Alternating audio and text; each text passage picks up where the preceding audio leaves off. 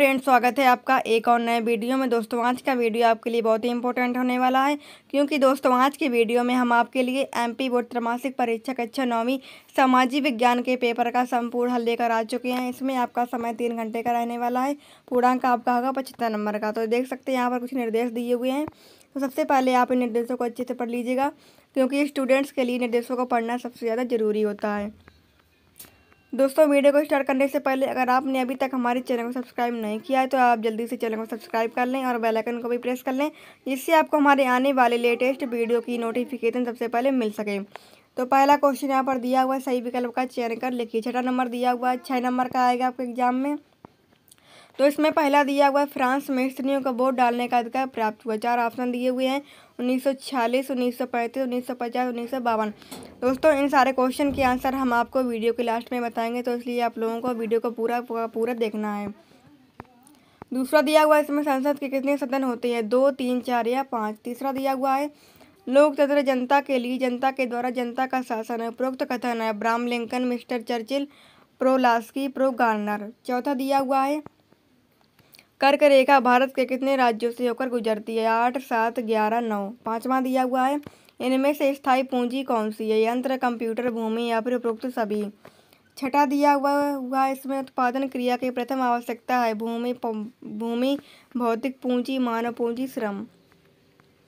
फिर इसके बाद क्वेश्चन नंबर दूसरा यहाँ पर दिया हुआ रिक्त स्थानों की पूर्ति कीजिए। छः नंबर का आएगा आपके एग्ज़ाम में। पहला दिया हुआ है, भारत में वोट डालने की उम्र रिक्त स्थान है। दूसरा दिया हुआ है श्रीलंका की राजधानी रिक्त स्थान है। तीसरा दिया हुआ भारत में राष्ट्रपति का कार्यकाल रिक्त स्थान है।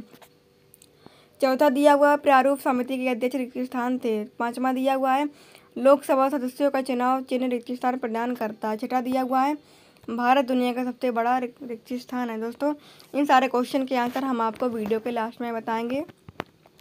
तीसरा क्वेश्चन दिया हुआ सत्य सत्य लिखिए। पहला दिया हुआ इसमें जार निकोलस लोकतांत्रिक शासक था। दूसरा दिया हुआ है, भारत एक धर्मनिरपेक्ष राज्य तीसरा दिया हुआ है, पॉलिटिक्स के रचयिता काल मार्क्स हैं। चौथा दिया हुआ भारत का संविधान पंद्रह अगस्त उन्नीस सौ सैंतालीस को लागू हुआ। पांचवा दिया हुआ गेहूँ रबी की फ़सल है। छठा दिया हुआ भारत लोकतंत्र में शासकों का चुनाव जनता करती है। चौथा क्वेश्चन दिया हुआ सही जोड़ी का मिलान कीजिए। ये भी छः नंबर का आएगा आपके एग्ज़ाम में तो दिया हुआ इसमें खंडा में doctor Nelson Mandela, Mahatma Gandhi, Aung, San Suu Kyi Abram लिंगन सुकरात धारा। खंड बा में दिया हुआ किसी दस्तावेज़ का खास हिस्सा, भारत, म्यांमार, अमेरिका, दक्षिण अफ्रीका, एथेंस। फिर इसके बाद पाँचवा नंबर क्वेश्चन दिया हुआ, एक वाक्य में उत्तर दीजिए ये भी आपके एग्ज़ाम में छः नंबर का आएगा। पहला दिया हुआ है, पृथ्वी के मध्य में ज़ीरो डिग्री अक्षांश रेखा को किस नाम से जाना जाता है? दूसरा दिया हुआ है, भारत के उत्तर पश्चिम में स्थित पड़ोसी देशों के नाम लिखिए। तीसरा दिया हुआ है भारत की सबसे लंबी तट रेखा वाला राज्य। चौथा दिया हुआ गोंडवाना, भूखंड कहाँ स्थित है? पांचवा दिया हुआ भारत के एकमात्र सक्रिय ज्वालामुखी का नाम लिखिए छठा दिया हुआ भारत किस महाद्वीप में है। दोस्तों, अगर आपने अभी तक हमारे वीडियो को लाइक नहीं किया है तो जल्दी से आप वीडियो को लाइक कर दीजिए और ये वीडियो अपने सभी दोस्तों को भी शेयर कर दीजिए। छठा नंबर दिया हुआ क्वेश्चन। भारत का अक्षांशीय व देशांतरी विस्तार लिखिए। दो नंबर का आएगा आपकी एग्ज़ाम अथवा में दिया हुआ भारत को विश्व में किन किन नामों से जाना जाता है? छठा, सातवां नंबर दिया हुआ है। मानक यामोत्तर से क्या आशय अथवा में भारत के पड़ोसी देशों के नाम लिखिए। आठवां नंबर क्वेश्चन दिया हुआ है। भारत के पूर्वी तट पर स्थित राज्यों के नाम लिखिए। दो नंबर का आएगा। अथवा में दिया हुआ है। भारत के पश्चिमी समुद्री तट पर स्थित राज्यों के नाम लिखिए। नौवा नंबर दिया हुआ है। भावर क्या है? अथवा में दिया हुआ है भूगर्भीय प्लेटें क्या है? दसवां नंबर दिया हुआ है, बांगर और खादर में अंतर लिखिए। अथवा में दिया हुआ है, पूर्वी घाट तथा पश्चिमी घाट में अंतर लिखिए। ग्यारहवा नंबर क्वेश्चन दिया हुआ है, अब, अपसारी भूगर्भीय प्लेटें क्या अथवा में दिया हुआ है, अभिसारी भूगर्भीय प्लेटें क्या हैं?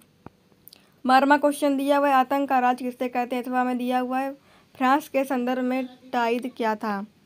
दोस्तों, अगर आप इसकी पीडीएफ डाउनलोड करना चाहते हैं तो आप गूगल पर सर्च कर लें Nitya study point dot com. तो दोस्तों वहाँ पर आपको यह डाउनलोड करने का लिंक मिल जाएगा, वहाँ से आप कर पाएँगे दोस्तों पीडीएफ डाउनलोड।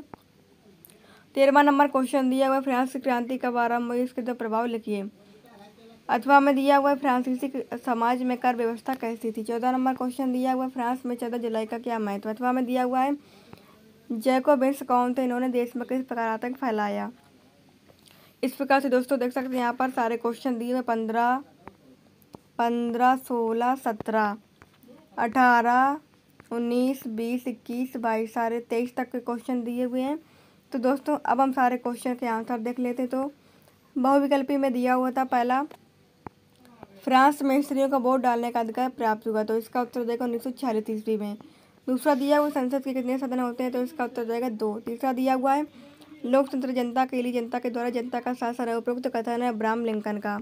चौथा दिया हुआ कर्क रेखा भारत के कितने राज्यों से होकर गुजरती है तो इसका उत्तर जाएगा आठ। पांचवा दिया हुआ इनमें से स्थायी पूंजी कौन सी है? तो उत्तर जाएगा इसमें उपरोक्त सभी। छठा दिया हुआ उत्पादन क्रिया की प्रथम आवश्यकता है, उत्तर जाएगा भूमि। तृतीय स्थान में पहला दोस्तों दिया हुआ भारत में वोट डालने की उम्र है तो इसका उत्तर जाएगा अठारह वर्ष। दूसरा दिया हुआ श्रीलंका की राजधानी है, इसका उत्तर जाएगा कोलम्बो इसके बाद दिया तीसरा भारत में राष्ट्रपति का कार्यकाल है तो इसका उत्तर जाएगा पाँच वर्ष। चौथा दिया हुआ है प्रारूप समिति के अध्यक्ष इक्कीस स्थान थे तो उत्तर जाएगा इसका डॉक्टर भीमराव अंबेडकर पाँचवा दिया हुआ है। लोकसभा सदस्यों को चुनाव चिन्ह प्रदान करता है, उत्तर जगह इसका राष्ट्रीय चुनाव आयोग छठा दिया हुआ है। भारत दुनिया का सबसे बड़ा रिक्ति स्थान है, उत्तर जगह इसका लोकतंत्र। तीसरा दिया हुआ सत्य लिखिए तो पहला हो जाएगा जॉन निकोलस लोकतांत्रिक शासक है, इसका उत्तर जाएगा असत्य।